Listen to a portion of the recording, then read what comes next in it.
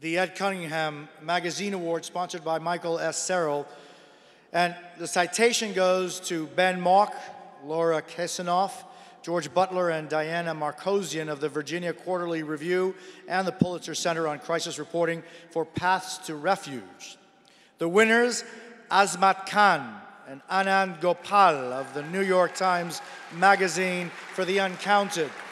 This is the second year in a row that uh, Anand has won the Cunningham Award. Wow, this is such an incredible honor. My co author, Anand Gopal, really regrets that he couldn't be here tonight. But just before the program began, he sent me a very urgent text message from where he is in Syria. Let me just read it to you. Azmat, please don't try to tell any jokes tonight. Anand and I are so grateful to the OPC, to our brilliant editors at the New York Times Magazine, to the entire Times apparatus for the investment they made in this investigation, and most of all, to the hundreds of Iraqi sources who told us their stories. One of them is actually here in the room tonight. Bassem Razzo lost his wife, daughter, brother, and nephew in a US airstrike, badly injured himself, he escaped Mosul to get medical treatment and then set out on a quest for justice. Last night, Bassem landed in New York, and this morning, we went to the 9 11 memorial.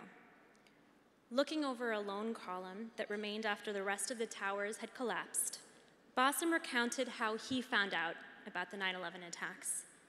He'd been at his pharmacy in the old city of Mosul when his friend Mohammed arrived in a panic. Come quickly, he said. Something happened in New York.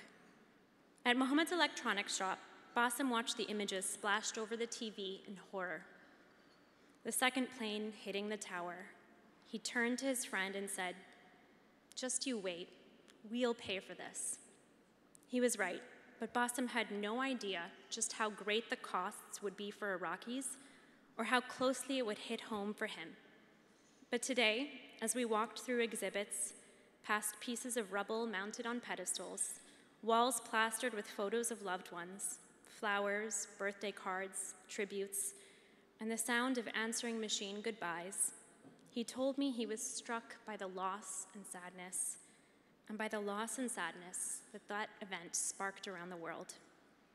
We stopped at an atrium where a, quote, where a quote took up the entire expanse of a wall.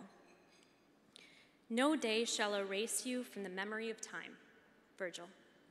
We should say the same of Iraqis. Their names are not etched into marble. The rubble from their homes are not encased by velvet rope. They go unnamed and uncounted. But even if we do not know their losses, they will never forget them. In the two years we spent reporting this story, I was always gripped in learning the extents to which people would go to seek restitution on behalf of their loved ones. I met a family from Ramadi so desperate to prove that their relatives had died in an airstrike that they actually snuck back into ISIS territory and dug up their bodies. For so many Iraqis, commemoration itself becomes an act of justice. We're indebted to every single Iraqi, all of the hundreds of them who opened their hearts to us who shared their stories and allowed us into their lives. And I want to give a special thanks to Bassem. We're so lucky to have met him. He has an ability to find peace in the most tragic of circumstances, marshaling an inner strength that many of us can only hope to achieve at some point in our lives. Bassem, if you could stand up, he's at table 23.